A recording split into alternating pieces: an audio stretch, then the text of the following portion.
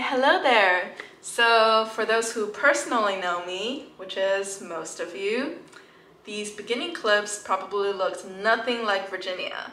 And that is because Coco and I have moved pretty, pretty far away to, drumroll please, San Francisco.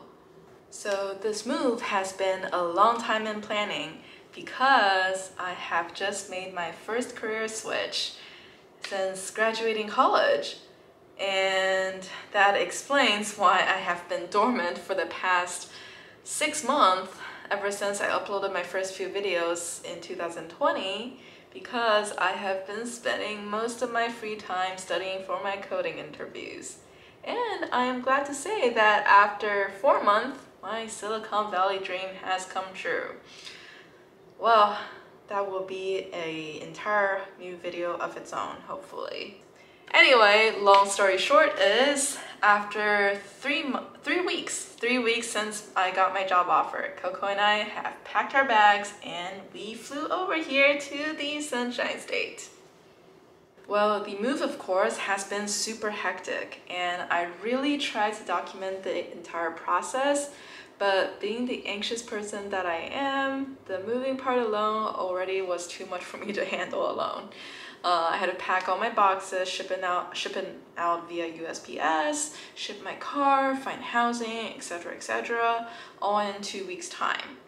But of course, thanks to my friends in Virginia and California, the process has been slightly more bearable.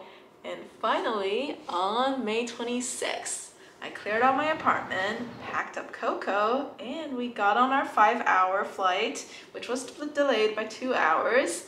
And finally, we landed in San Francisco International Airport.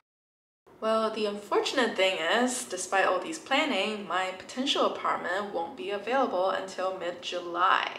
So until then, Coco and I are going to stay in this Airbnb, which is a super lucky find for a semi long-term stay because the host was kind enough for me to bring Coco along.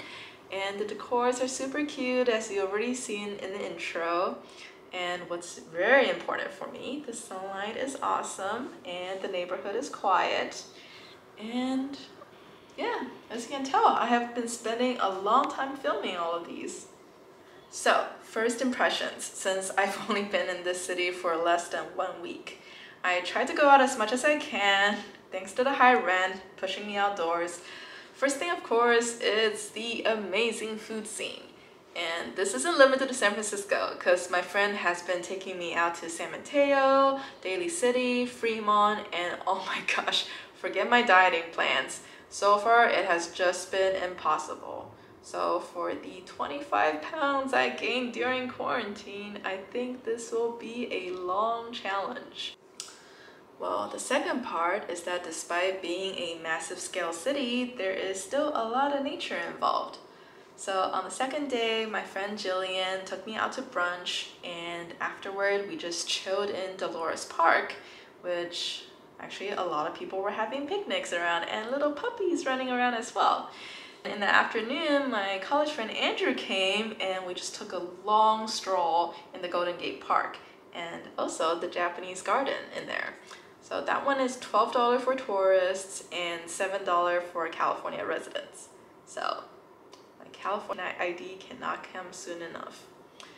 But of course, throughout this time, I was seriously just scouting out for future photo shoot opportunities and locations. So if you live in the San Francisco Bay Area, remember to hit me up in my Instagram. Overall, this has only been my first week here, so thanks for bearing with my stream of consciousness throughout this video. Maybe I'll make a moving in vlog when I actually move in, but we'll see. Maybe you won't see me again for another half a year, just like last time. Let's hope that doesn't happen. But anyway, good luck. Oh. Before I go, I almost forgot. Again, if you are in the San Francisco Bay Area and you want to take some photos by yourself or with your significant other, I have my camera here. So be sure to check out my portfolio on my Instagram and we'll see if we can work something out.